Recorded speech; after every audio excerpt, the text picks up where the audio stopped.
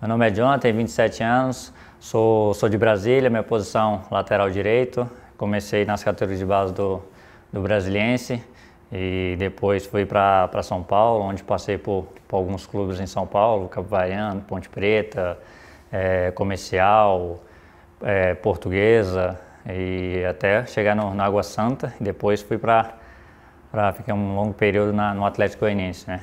Aí tive é um, uma campanha muito boa, tive dois acessos lá na, na equipe do Atlético, do, dois títulos, fiz, consegui fazer 104 jogos com a camisa do Atlético Goianiense. E até retornar esse ano para o Água Santa novamente, disputei o Paulistão.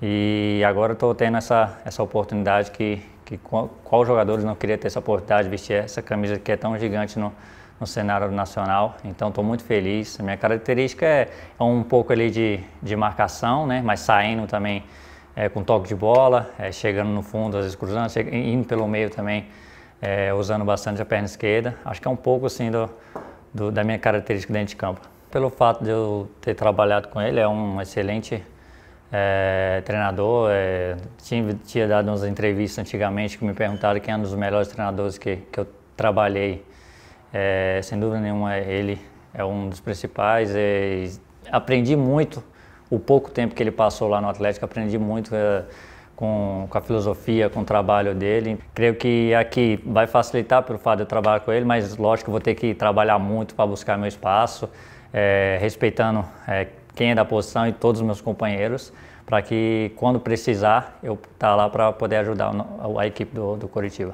Fala torcida Coxa Branca, aqui é o Jonathan.